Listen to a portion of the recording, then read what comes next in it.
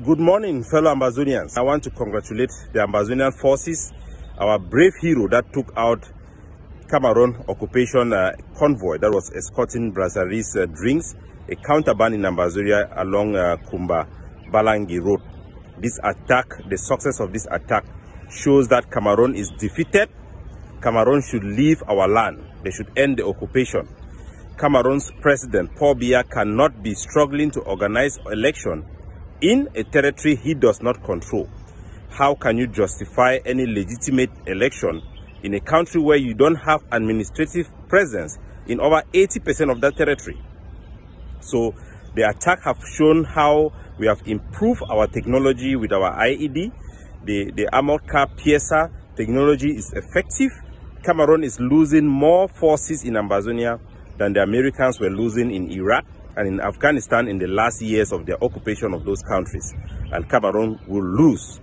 There is no way a occupying power can win a battle in a country where it does not have legitimacy. Cameroon have lost its legitimacy. It does not rule over Ambazonia. The Ambazonian people have taken back control of their territory and we are now instituting our own local Ambazonian Transitional Authority. So Cameroon is defeated.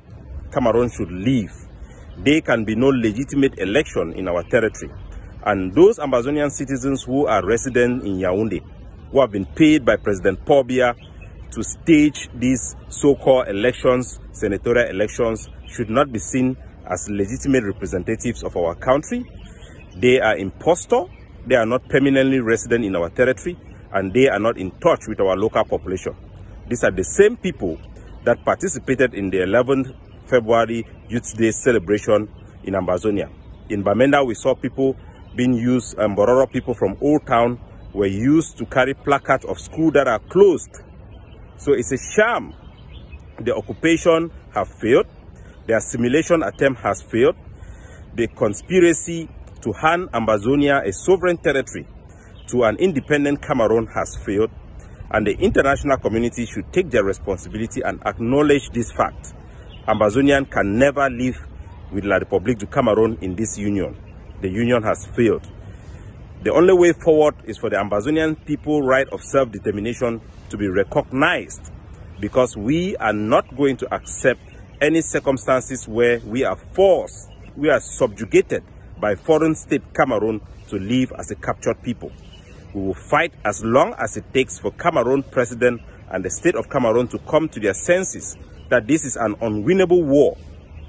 More of their sons and daughters who are sane, who are recruited to be sane in Ambazonia, will come and meet only one thing. Their death, their imminent death is a matter of time. Wherever you are in Ambazonia, carrying Cameroon military uniform and their guns, know that it's just a matter of time before our brave hero will meet you. We are fighting in our territory, in our turf. We don't lack soldiers. We don't lack the motivation and we will get you sooner or later. Leave Ambazonia now or die in the hands of our brave heroes. And for our soldiers who continue to lay their life on the ground for our people, they are doing the right thing, they are doing the honorable thing, they are doing the just things, and history will prove them right. God bless you.